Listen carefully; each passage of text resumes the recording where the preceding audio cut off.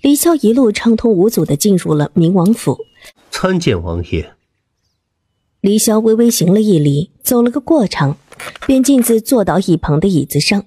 还是王府里的茶香。我这几日忙着研究新药，大门不出二门不迈的，都快成了僵尸了。你研究的新药是什么？可和天花有关？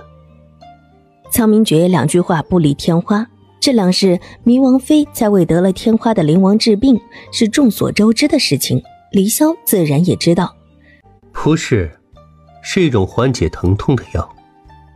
离萧觉得今天的苍明诀比平常更冷了，平常是语言上的冷漠孤傲，而今日看上去整个人都浸在冰水里一样，他也不敢随便说话。王爷，其实这药。还是和天花有关的。得了天花的人，要是哪里疼痛，都能用的。嗯，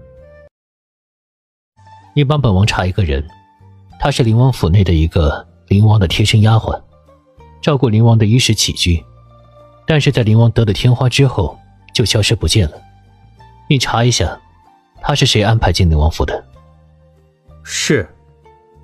王爷，听说最近王妃。去为灵王治疗天花了，这天花极其容易感染，一定要小心。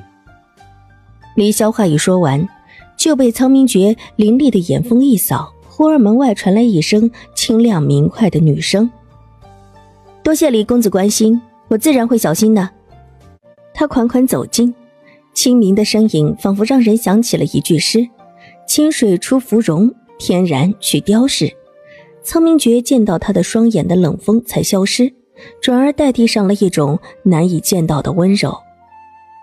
见到王妃平安无事回来，我就知道王妃医术高明，算我多虑了。